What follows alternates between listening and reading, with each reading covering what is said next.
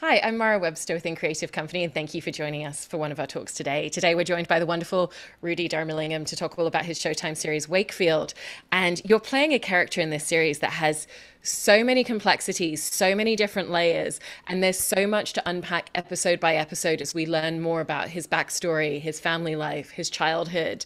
Um, you know, and you're really exploring both the external and the internal with with this character.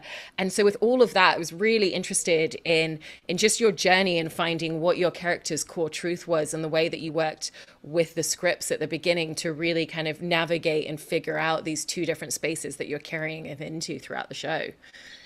Yeah i mean i mean when i when i first got the job i you know well actually before i got the job i read the series bible that um, kristen and sam Sam Meikle, the two showrunners, and um, the guys at Jungle, um, the production company, um, had sent me. And it was kind of like, it was so detailed. The series Bible was so incredibly detailed. And it really painted a picture, the, the, a beautiful sort of picture of, of this fictional world um, that Kristen and Sam had, had created. Um, I say fictional, but I mean, yes, it is fictional, but I think it's it's heavily influenced by Kristen's own um, experience of being in a psychiatric ward herself, which she's been very open about.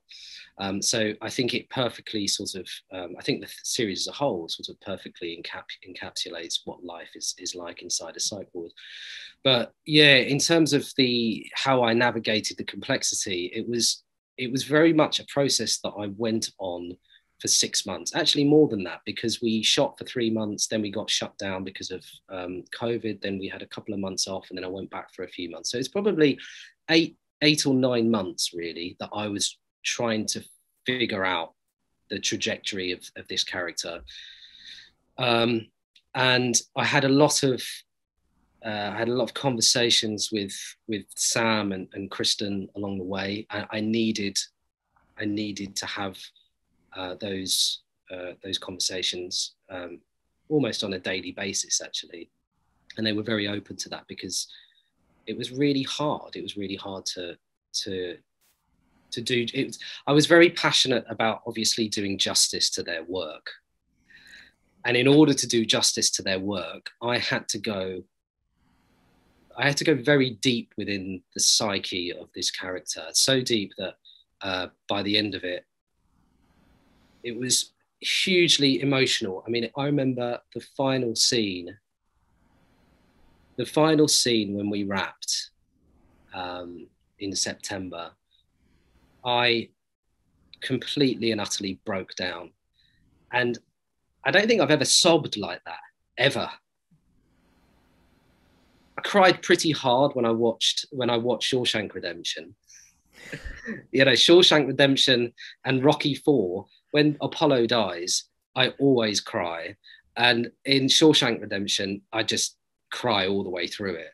But I've never sobbed. I just completely, it was just because I'd, I'd had this, I lived this character so deeply uh, for, for nine months in a way that I didn't think I was sort of capable of doing, really. I had to, yeah, I had to sort of um, take care of my own mental health as well because I think when you're dealing with a, a character of that complexity and you're going back through that character's life and journey through life and their childhood, you have to create you have to create a mental framework. And that's something i always do in any in any role.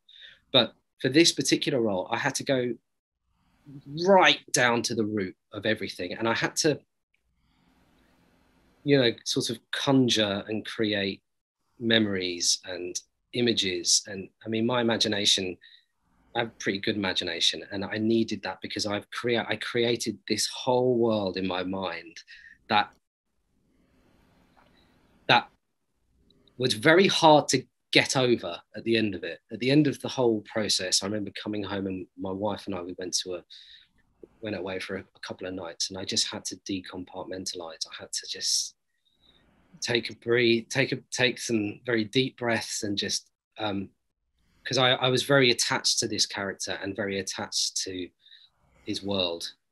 Um, and it was quite debilitating at times. So yeah, it was pretty deep in answer to your question. I don't know even know if that did answer your question, but yeah.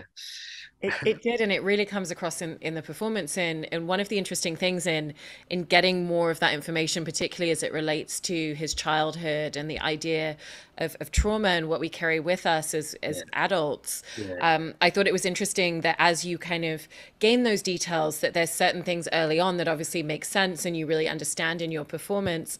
And so, how did you really do a lot of work in looking to the later episodes, looking to that information in the show Bible yeah. and the details that, that Kristen and Sam were able to give you, and then finding how you really wanted to encompass that in your performance early on, even before we as an audience have learned about this information with him? Yeah, yeah. I mean, well, I, I, um, in terms of the trauma aspect, I experienced some trauma as a child myself, and I think most people have experienced some level of trauma, whether they've lost a friend or a, loved one, or, or a, a dog, or, or, a pet, or whatever. Um, but I experienced some trauma as a child, and I was able to use that. I was that that was another thing as well that was quite debilitating because all of that was coming back up again. Um, and uh, which was great. I mean, it was fantastic for the character. It was really, really amazing. And I mean, another thing that really helped me was the quarantine. So I was in quarantine when I went back to Australia um, for the second leg, if you like. Uh, I had to quarantine for two weeks in a, um, a government assigned hotel. Um, and it was really, it was tough. It was, it was really, you ask anyone that's done two weeks of quarantine, not five days, but anyone that's done two weeks of quarantine, it's really, really um, uh, discombobulating. Um, so I was on my own in a hotel. Um, someone would bring me some food. I mean, the food was pretty basic, but that was fine. Um, I had a an army uh, uh, sort of personnel that was always sat at the end of the corridor. Um, just to make sure none of us decided to do a runner. Um, we had no windows. A lot of modern hotels have no opening windows, so I couldn't even have any fresh air. Just had the air conditioning whirring for two weeks. Um, and like for instance, there's little things as well. Like I couldn't even see it. I didn't see a tree for two weeks. I'd look out of my window and all I could see was buildings, concrete. Um, so I was very much alone with my thoughts in that environment. And it was great because it was it enabled me to uh, go so deep within the character um, because it was approaching a time a point in the series where nick was becoming more and more isolated and more and more solitary and more desolate and more lost. And i was pretty lost in that environment. Um, so it was in in hindsight it was kind of a, a blessing really because it enabled me to um, tap into um, uh, uh, the, the sort of trauma that he experienced. And, and, and I, I kind of lived that for the next six or seven weeks. Yeah.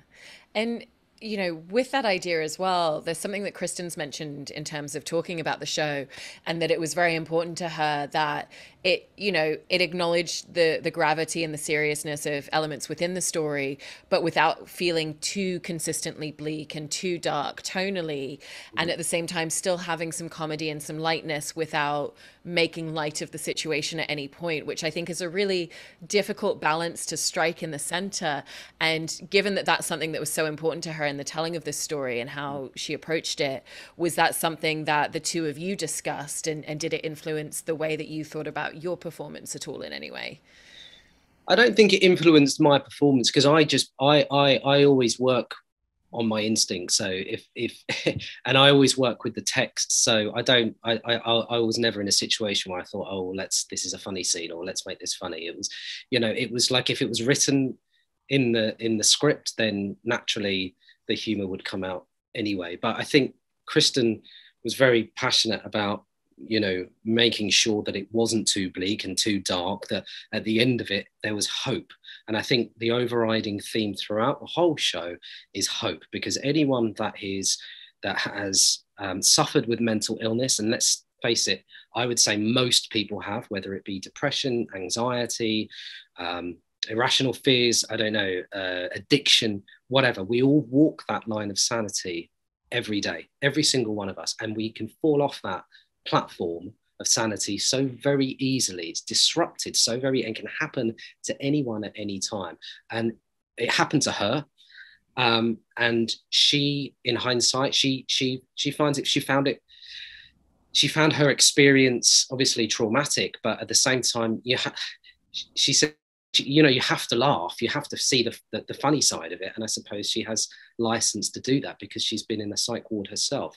Um, but yeah i mean the, the, the comedy is something that you know is i think inherently derived from just what is what makes us human beings you know and um, what what we uh, what we are as individuals. Life is amusing life is heartbreaking life is life is traumatic life is difficult. It's we're constantly playing you know you, you know trying to you know i suppose i suppose we're always constantly trying to uh, see the funny side of things as well no matter how dark our lives get and and with your character, obviously a central part of of who he is in the way that we meet him is that he is someone who just has a a very wonderful and sensitive tact with patients and really is able to strike up a very unique and individual rapport with each person based on reading them and figuring out what he, what they need from him. And it is something where he goes above and beyond in a lot of ways but it's still within the confines of professionalism. Yeah. and was that something where you had to really cognizantly think about you know what that line of professionalism would be and make sure that he didn't step over it at any point? Or was that just very naturally from from what was in the scripts because it really comes across in in a lot of the dialogue and the interactions in that way as well. Yeah i mean you know he's you know nick is um he's a bit of a maverick you know he's unorthodox he's an anti-bureaucrat he's anti-establishment he's innovative he's experimental he's intuitive he he has no rule book. And um, that sort of ruffles a, a, few feathers within Wakefield, but he always gets results and he's the you know if in moments of crisis within Wakefield, you know where's Nick? We need Nick because Nick will know how to diffuse this situation. Um, and he, yeah, I mean that was a challenge as well. My, you know, for, for myself as as Rudi because he's Nick is a, very much a um, he, he's very at ease with people and with anyone. He has this just wonderful quality of warmth uh, and he's very giving as well. And and and you know, and, and it's um, it's trying to create a character that has so many of those incredible qualities. This almost like spiritual figure almost. It's quite yeah quite difficult but you know as i said you know i always work from the script i always go with my instincts and um and I, th- I think that we created a, I think together, it wasn't just me, but it was Sam and Kristen and Jocelyn Moorhouse and Kim Mordaunt, All of us created that character. It wasn't just down to me. I just embodied it, but they, we all created it. Yeah. And as we get to see a little bit more about the internalization of him as a character, the types of things that he's seeing within his mind, um, you know, there's there's very different scopes to that. There's a lot of the childhood flashbacks. There's the obvious obvious significance of the song Come On Eileen that he keeps seeing in different iterations and different motions with different characters at different spaces as well. Um, and one of the things that I appreciate in your performance is that you're never playing to like the overly dramatic experience for your character of what it's like to wake up in the middle of the night or to be, you know, imagining a scene like that at a train platform. And was it really important to you to be playing to the microcosm of the emotional yeah. impact rather than the overly dramatic of it? Yeah, I mean, my, I mean, I spent 15 years doing theatre. My background is in theatre, and I, you know, I, I, I, I performed in, you know, some so many plays and quite a few venues and incredible places, you know, and I've, I've had, you know, a wonderful experience doing that. Uh, but there came a point about five, four or five years ago where I decided that I, I wanted to, I wanted to uh, move my enthusiasm for truth uh, and creating truth into another medium. And I wanted to, I wanted to sort of do more screen work, and and that's that's because, and it was a very different format for me, and that's purely because I, I think I always struggled with being utterly as truthful as I could be in an environment where I'm having to play to 2,000 people and that's an incredible skill uh, for someone that can do it. And I want, I, I, I always found sort of the intimacy of truth very hard to um, establish in a theatre. Some people can do it, and that's amazing. And I, I, I could do it, but uh, not as well as I, I'm able to do it on screen. And I suppose working in TV and film, I'm able to be utterly truthful uh, with another individual on a really, really, really small level, um, which is um, which is thrilling because that for me is what my job is all about. You know, not playing out to an audience. Um, I just want to create, you know, real sort of artistic truth and be um, be as authentic as I can possibly be. That I find really stimulating. And that, you know, I got that from my childhood when I was I read An Actor Prepares, which is a Stanislavski uh, kind of actor's Bible. And I read that in a couple of days, and it just and, and I I always approach everything using that methodology now. So yeah. There's also a lot of interesting ways in which you get to explore your character in terms of movement because there's there's the moments where we we see him kind of visualizing himself tap dancing, which clearly was a big part of the storyline with his childhood trauma as well that he's carrying. Um, and there's different explorations and emotions that come across through the tap dancing, which I know was not a skill that you went into this show with and actually trained specifically for. And then it's interesting to look at scenes like that in juxtaposition to his movement with the patients, the way that he sits with them, the way that he interacts with them.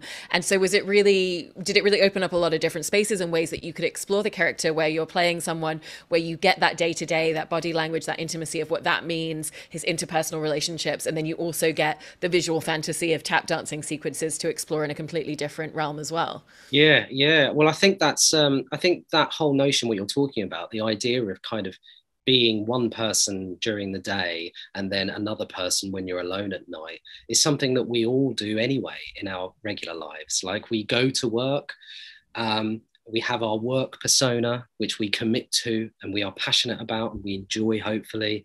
And then we go home and we're sort of, you know, yes, you might have, you, you know, it might be around family and children, husbands, wives, mums, dads, brothers, sisters, whatever but there's always a time when you're in when you're in bed at night when you're on your own with your own thoughts. And i think i found that contrast between his work life um, and his ability to continue to have such a profound effect on on his patients uh, whilst also having this sort of concoction of of um, of sort of uh, bad memories and trauma sort of percolating and getting stronger and stronger and his visions and his flashbacks and these shards of memory just becoming more and more overbearing. And and you know by episode eight it's just a pressure cooker and everything is released. So um uh, yeah it was it was and I, I worked you know from an actor's point of view i had to work that as i went. Like i think i read episode one and two and then someone said to me, "Oh, episode three's out. You, have you read it?" No, I'm just focusing on episodes one and two at the moment. I can't get my headspace there yet. Or in episode four, when episode eight came out, I was just no. I just need to focus on this first, and then I'll I'll figure that out later. Yeah. And when it does come to those interpersonal relationship dynamics that he has with each of the patients and, and with what we were talking about before, where each of them is is very unique and he's got that real sense of intuitiveness, um, you know, and he's really reading people and sitting there listening and responding. Did that play into the way that you were working with a lot of the cast as scene partners in really just being in a position of sitting there and listening and absorbing their performance to really then figure out energy wise what you needed to give back in the scene in the moment? Yeah, I mean, I, I, I also work very spontaneously. Um, I don't plan anything.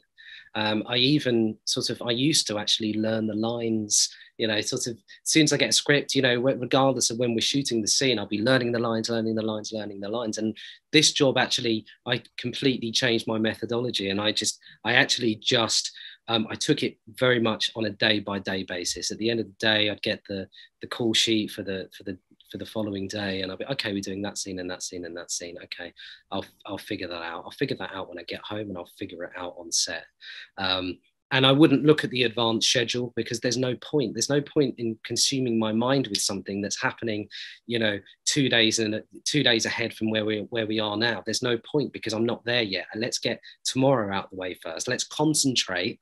Let's focus all, you know, let's focus my mind on the six or seven. I mean, yeah, because I was admittedly doing about six or seven scenes every single day.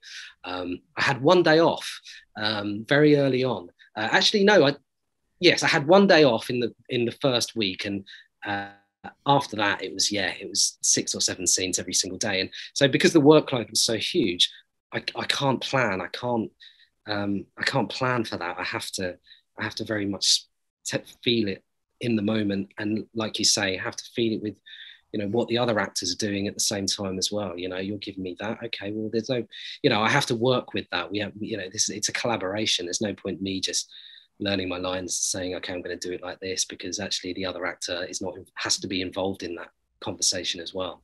So we have a conversation, we rehearse it, and then we just work very organically. And even within that spontaneity, was there a difference to the intrinsicness in in the way that you just really felt out scenes in the moment once you were shooting towards the end of the season from when you started? Because obviously there is that thing that obviously you know the longer you connect with a character, the more you inhabit them, and particularly with a character like this, with everything you were saying at the beginning about the psyche yeah. and really unpacking that, there's such an opportunity to eh, have explored so much of that by the time you get to shooting the later episodes.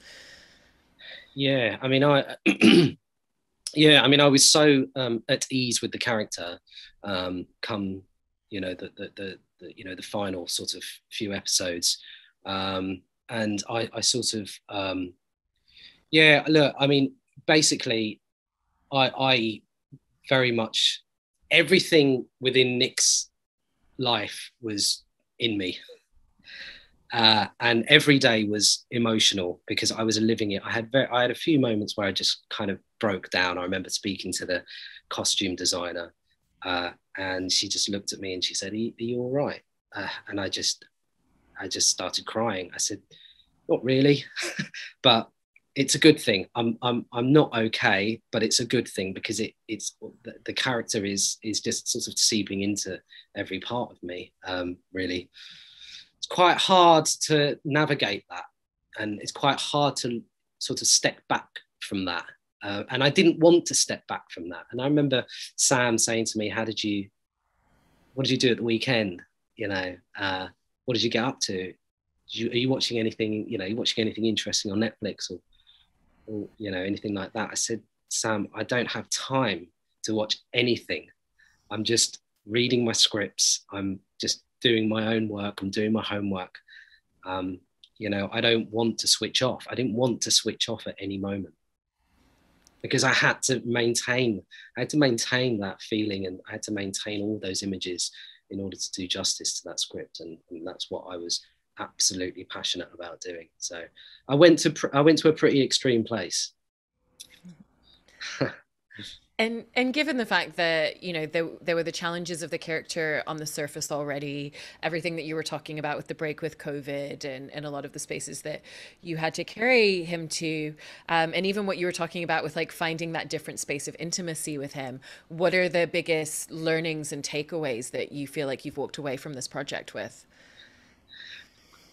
Well, I've I've learned how to do an Australian accent. Uh, so yeah, that was really hard to start with. That was so hard. Uh, but um, I just listened to the radio when I was in my hotel room like all the time because I just wanted to be I just wanted to be exposed to the accent. I didn't want to hear any other accent. Um, so yeah, I learned the Australian accent. I learned how to tap dance, which was a bit of a miracle because when I was at university, I well, I, I, wasn't a dancer. I've never danced professionally before. I mean, I can't. A friend of mine said to me once, Rudi, you're such a, an assured actor.